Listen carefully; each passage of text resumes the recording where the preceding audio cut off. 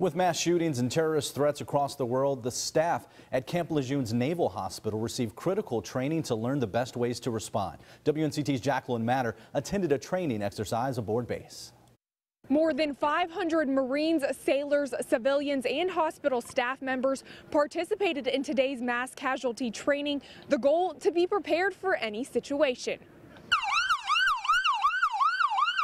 During the drill, a simulated blast went off at Tarawa Terrace. Responders pretended to treat nearly 100 injured role players. He needs blood. We already have the IV started. The injured had fake wounds applied to their bodies, ranging from open chest injuries to burns to minor cuts. Hospital staff members assigned colors to the severity of their injuries.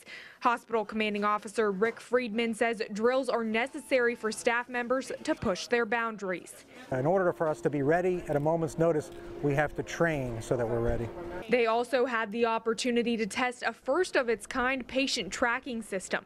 It works like this. A staff member scans the patient's color-coded tag.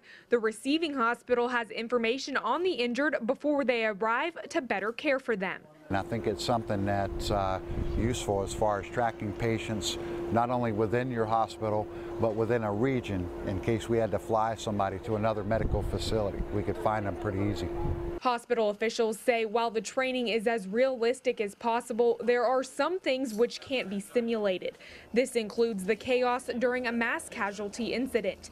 They say being prepared for incidents like what happened in Brussels and Paris is key. We remain a vulnerable target, and the only way to decrease our vulnerability is to participate in exercises like this designed to stress our system, identify areas where we can improve, and uh, as well as identify our strengths. Hospital officials say the Marines also use the training when in combat or deployed. Aboard Camp Lejeune, Jacqueline Matter, 9 on your side.